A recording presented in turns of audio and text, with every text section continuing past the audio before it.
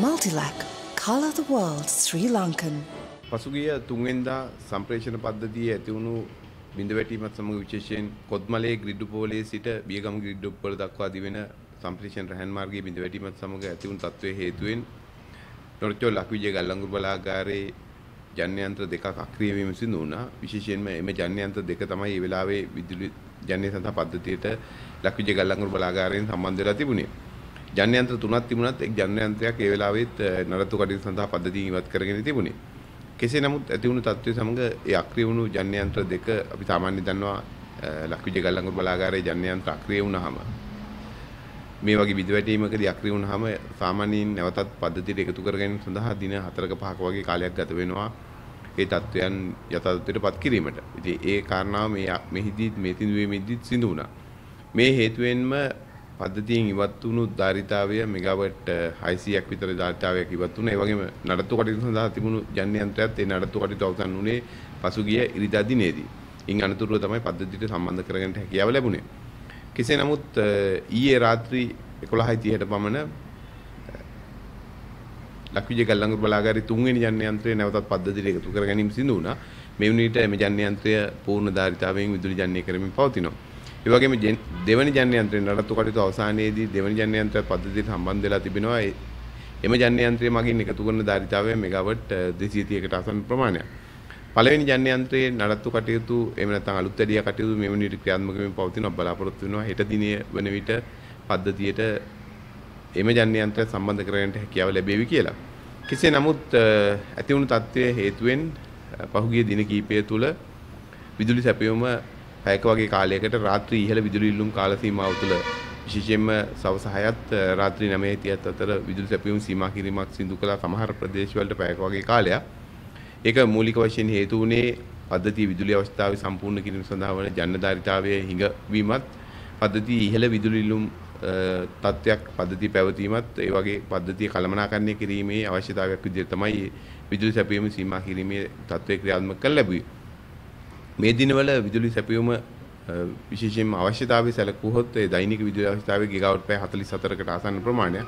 මේ අවශ්‍යතාවයෙන් 60කට ආසන්න ප්‍රමාණය ජල විදුලි බලාගාර වලින් පද්ධතියට එකතු කරනවා. ඉතිරි ප්‍රමාණයෙන් 5ක 6ක වගේ ප්‍රමාණයක් පුනර්ජනනීය බල ශක්ති බලාගාර වලිනුත් ඉතිරි අනිකුත් අවශ්‍යතාවය තාප විදුලි බලාගාර වලින් පද්ධතියට එකතු කිරීම සිදුවන්නේ. කෙසේ නමුත් පසුගිය දින කිහිපය තුළ ක්‍රියාත්මක වුණු විදුලි සැපයීම සීමා කිරීමේ තත්ත්වය මේ දෙවන ජන්‍ය යන්ත්‍ර පද්ධතියට සම්බන්ධ වීමත් සමග ඉවත් කර ගැනීමට හැකියාව ලැබේවි. විශේෂයෙන්ම අද රාත්‍රී කාලයේදී එහෙම නැත්නම් ඉහළ විදුලි වලින් කාල සීමාව තුළ විදුලි සැපයීම සීමා කිරීමේ තත්ත්වය ඉවත් කර ගැනීමට හැකියාව තිබෙනවා. අපි ඒ අනුව ඉදිරි ක්‍රියාමාර්ග ගැනීමට බලාපොරොත්තු වෙනවා. ඒ කියන්නේ අද දිනේ සිට විදුලි කප්පාදුවක් සිදු වෙන්නේ නැද්ද? දැන්ට ජනධාරිතාවය මෙහෙම පද්ධතියක් ගත්තාම පද්ධතියක විදුලි අවශ්‍යතාවය සහ සැපයීම අතර මනා සම්බන්ධතාවයක් එහෙම නැත්නම් ඒ දෙක අතර සමීප සම්බන්ධතාවයක් තිබිය යුතුයි. විශේෂයෙන්ම ජනන අවශ්‍යතාවය පද්ධතියේ ඉල්ලුම් අවශ්‍යතාවය සම්පූර්ණ කිරීමට හැකියාව තිබිය යුතුයි. පහුගිය දින කිහිපය තුළ අපේ ජනධාරිතාවය අඩුවීමේ තත්ත්වය තුළ තමයි විදුලි සැපයීම සීමා කිරීමට සිදුුනේ. නමුත් දැන් අපි බලාපොරොත්තු වුණු ආකාරයට ඒ ජන්‍ය යන්ත්‍ර පද්ධතියට සම්බන්ධ වෙලා තිබෙනවා. ඉතින් ලක්විජය ගල්ලංගුරු බලාගාර එක් ජන්‍ය යන්ත්‍රය තම පද්ධතිය සම්බන්ධ කරගන්න තිබෙනවා.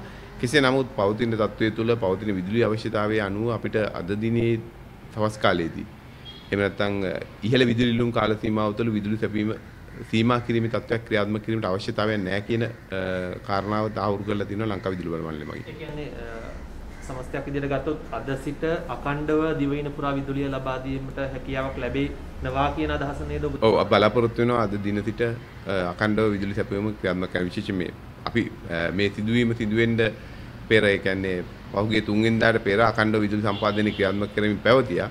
නමුත් ඇති වුණු තත්ත්වයක් සමග පද්ධතිය පූර්ණ බිඳ වැටීමත් සමග ඇති වුණු තත්ත්වය තුළ පැයක වගේ කාලයකට විදුලි සැපයීම සීමා කරා සමහර අවස්ථාවල පැය භාගයක් වගේ අඩු කාලයකට තමයි විදුලි සැපයීම සීමා කරේ. නමුත් දැන්ට තියෙන ජනධාරිතාවයේ සැලකුවහොත් පහුගිය දින කිහිපය තුළ ඇති වුණු පද්ධතිය අවශ්‍යතාවය සැලකුවහොත් අපිට පද්ධතිය විදුලි සැපයීම සීමා කිරීමකින් තොරව කළමනාකරණය කරගන්න හැකියාව තියෙනවා කියන කාරණාව තමයි තහවුරු වෙන්නේ. සුරක්ෂා මහත්තයා දැන් අපි දැක්ක මේ විදුලි බිඳ වැටීම පිළිබඳව විමර්ශනයක් සිදු කරන බව ප්‍රකාශ කර අමාත්‍යාංශ තුලින් එම විමර්ශය තාම ක්‍රියාත්මක වෙනවද මේ අවසන් වාර්තාව කවද වෙද්දී ලබා දීමට හැකියාව තිබෙනවද? පසුගිය තුන්වෙනිදා පද්ධතියේ ඇතිවුණු පූර්ණ බිඳවැටීම පිළිබඳව සොයා බැලීම සඳහා අමාත්‍යාංශය මගින් කමිටුවක් පත් කරලා තිබෙන ඒ කමිටුවේ ප්‍රධානත්වය දරන්නේ මහාචාර්ය ලීලන්ත සමරනායක මහත්මයා පේරාදෙණිය විශ්වවිද්‍යාලයේ ඉංජිනේරු පීඨයේ ඒ මහාචාර්යවරයා තමයි මේ කමිටුවේ ප්‍රධානත්වය දරන්නේ. ඒ කමිටුවට අමාත්‍යාංශයේ ඒ වගේම මුදල් අමාත්‍යාංශයේ වගේම ශාස්ත්‍රයේ වෙනත්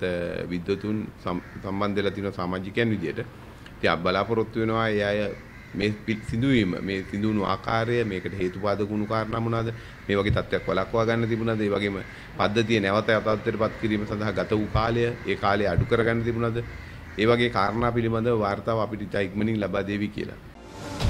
The News Reporter වාරණයෙන් තොර අපක්ෂපාති වාර්තාකරණය. Multilac, colour the world Sri Lankan.